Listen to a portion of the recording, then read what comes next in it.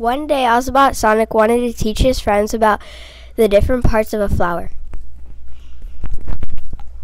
Ozo- Ozobot Sonic got ready to explore the different parts of a flower.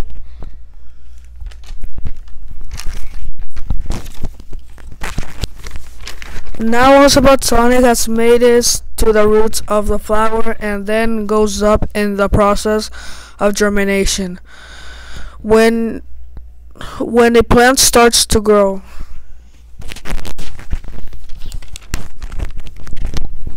Now he's in the stem, which holds up the flower. He makes his way to the sepal, the protective coating of a, of a flower.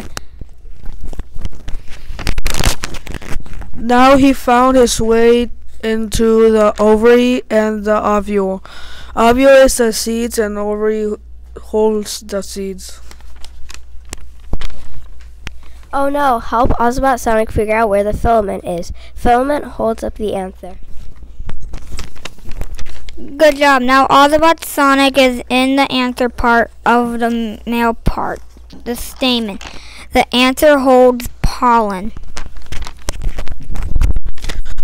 Ozobot Sonic is in the stigma, female part, which is the sticky part of the flower.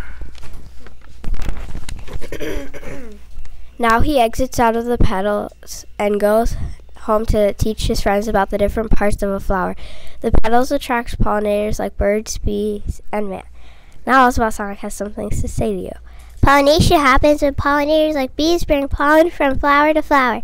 Seed dispersal means when or birds carry fruit or the wind spread the seeds to somewhere else to sprout. Fertilization means when the joining of an egg and sperm cell happens when the flower is getting pollinated.